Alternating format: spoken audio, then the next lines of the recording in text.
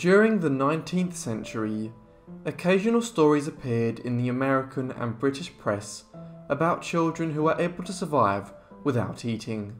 These so called fasting girls developed a certain celebrity, with some proclaiming that they were possessed of religious or magical powers.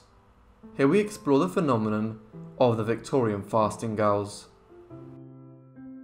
Fasting or the deliberate abstention from food has been practiced by most societies in certain contexts throughout human history. Some people fast for medical reasons, such as when tests need to be done and digestion will compromise the result, or when individuals undertake days of a juice or water diet to cleanse their system. However, typically fasting has been associated with religion.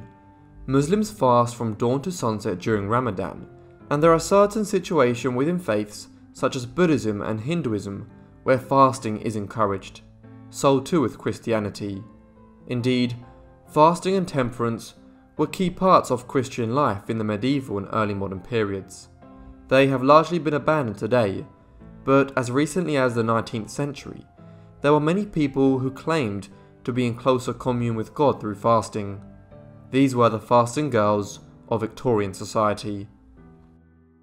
In the second half of the 19th century, stories began to spread about mysterious girls who could survive for periods of weeks or even years without any food or water. In general, they first gained local renown in their communities in Britain, the United States, and Canada, before often acquiring an international audience. Also, as their fame increased, people would travel from far and wide to see them, and pay money to do so. Journalists and other writers came to witness their bizarre abstinence themselves, and wrote about them, often puzzled as to how they managed to go so long without eating, and if the girls in question were in fact blessed with religious or magical powers. There were precedents to these kinds of abilities in the Middle Ages. For example, Catherine of Siena, a lay member of the Dominican religious order, gained renown in the late 15th century, in part for her extreme fasting and had been deemed to be a holy woman. In a similar vein, the fasting girls of the Victorian era were soon believed to have religious or mystic powers, with some of those who came to see them believing that they were witnessing miracles. Yet, somewhat suspiciously, a few of the fasting girls or their parents would charge visitors for clairvoyant readings and other aspects of their supposedly mystical abilities. So, in order to get a better understanding of just what was involved, let's take a look at some of the foremost examples of fasting girls who gained renown and infamy during the 19th century. One of the more famed fasting girls in America was Mary Fancher, generally known as Molly Fancher. Her story is genuinely very strange. She was born in 1848 in Brooklyn, New York, but beginning in the mid 1860s, when she was a teenager, a series of unfortunate events occurred. First, she was thrown from a horse while riding in Prospect Park and struck her head against the pavement. Thereafter, she developed headaches and fatiguing spells. Then, a year later, she was dragged underneath a Fulton Street trolley car, which she fell under while stepping out of it. This injured her spine, and she was rendered quite ill by it. However, Fancher was still able to function in day to day life. This is until the 3rd of February 1866, a few months after the Fulton Street incident, when she had some sort of episode during which she seemingly became half possessed and ended up writhing around on the floor of the Fancher family's kitchen. She was immediately carried to her bed and she would remain there for the next 50 years. Fancher soon developed a reputation for both psychic powers and endless fasting. She was occasionally force fed, but on other occasions, she allegedly went months on end without food. She was often in a trance like state and developed a reputation for being a clairvoyant when this occurred. Soon, the newspapers were referring to her as the Brooklyn Enigma. The great showman P.T. Barnum even tried to get her to join his show, but she refused. Some years later, her trances subsided, and she then developed five different personalities, called Idol, Sunbeam, Ruby, Pearl, and Rosebud. Eventually, though, in the course of the 1880s and 1890s, the press lost interest in her and she faded from public consciousness. It's entirely unclear to this day what happened. Was she faking all of this behaviour to earn money through her clairvoyant readings? Was she mentally disturbed? Was her fasting a sign of anorexia? In Fancher's case, it is really hard to tell. One of the most famous instances of a fasting person of the 19th century involved Anne Moore, although she wasn't a girl. Moore was in her 40s by the time she became famous in the autumn of 1808, after she'd been observed to not eat for 16 days and nights at her home in the village of Tutbury in Staffordshire in England. The purpose of the watch was to validate her claims, which had been ongoing for years by that point. Indeed, Moore's fame had spread throughout Britain and other countries, like the United States, and it was even believed that she had existed for five years without food at one point.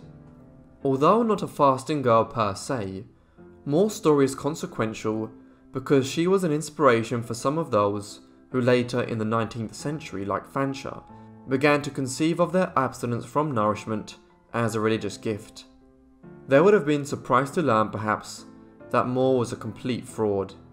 She had developed elaborate ways to smuggle food into her bedroom and consume it, even while being watched.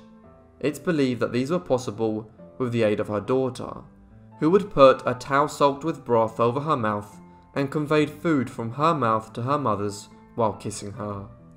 Despite being a fraud, Moore gained a notable reputation thanks to her supposedly miraculous fasting, and consequently generated a lot of income. She died in 1813 at the age of 53, just months after being supervised by local writer and clergyman Legh Richmond. Throughout the 19th century, there were many other fasting girls, and many of these proved fatal.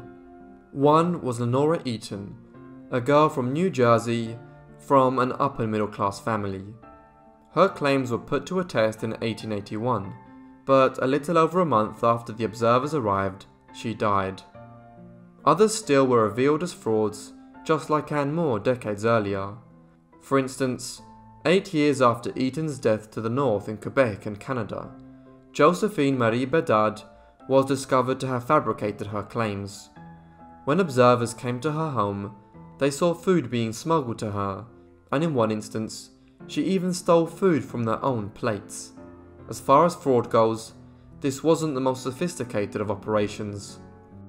Finally, though she lived considerably later than the others, Therese Neumann, a German who was born in Bavaria in 1898, is often considered a late fasting girl.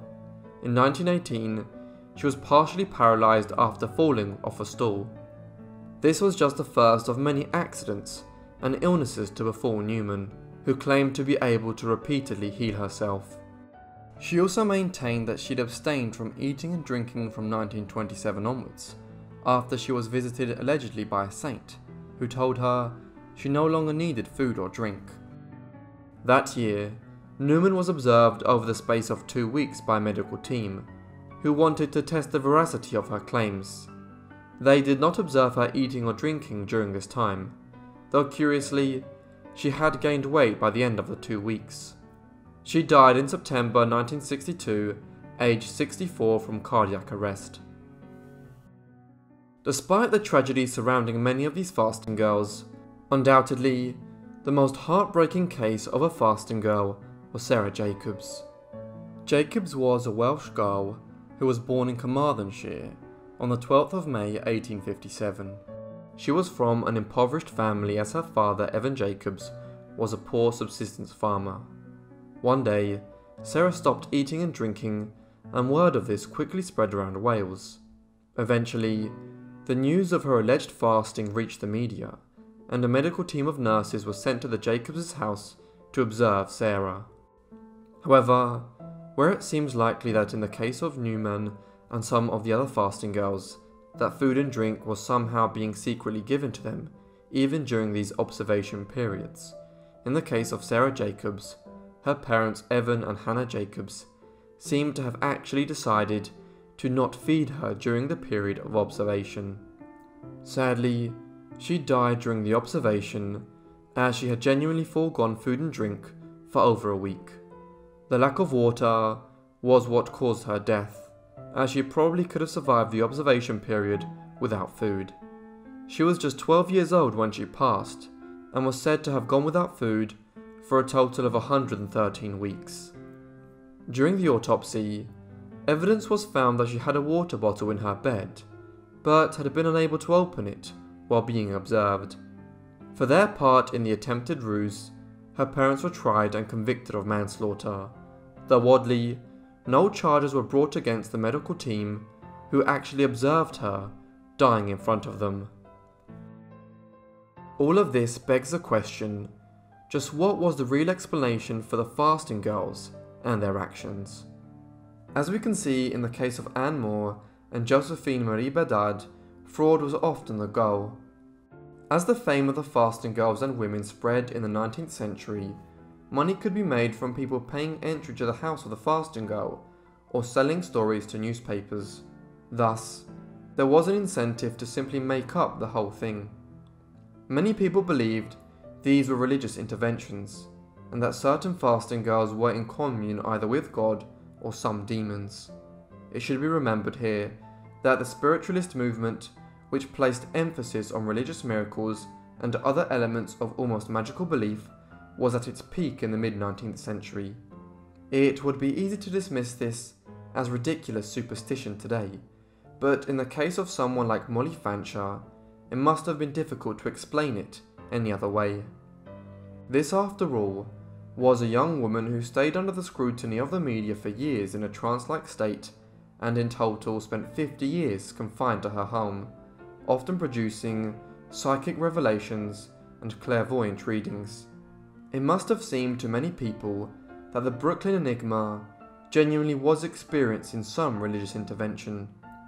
However, the most logical explanation in some instances is probably the most likely, and it seems that for many of the fasting girls, the problem was their own mental health.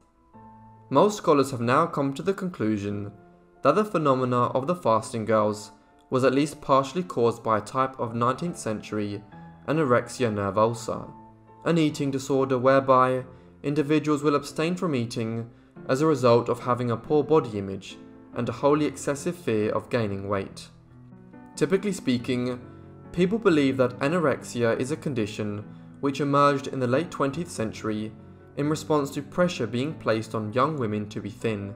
However, from the perspective of the fasting girls, it is significant to note that the term anorexia nervosa first came into use in 1873 when Sir William Gull, an English physician, first studied it systematically and gave the condition its name.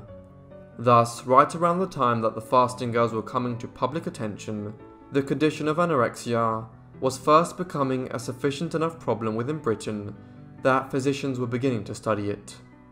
What is plausible is that, Fasting girls like Sarah Jacobs and Lenora Eaton were possibly anorexic, and this was the initial cause of their reputation for surviving without eating. Later, though, this would have tragic consequences in their cases. Consequently, beyond the myths and rumours of religious communication with the celestial through their fasting, or figures like Fancher and Jacobs having magical powers, some of the fasting girls were most likely what they appear to be. Examples of the first infamous cases of anorexia in modern society. Thank you everyone for watching this video on the fasting girls, I hope you found it interesting. Let me know what you thought of the case and all of the girls down below in the comments. If you have any suggestions, also leave them in the comments. I hope you guys are subscribed and have notifications turned on so you get all my videos as soon as I upload them. Anyway, that's all from me, so I'll see all of you in the next Forgotten Life.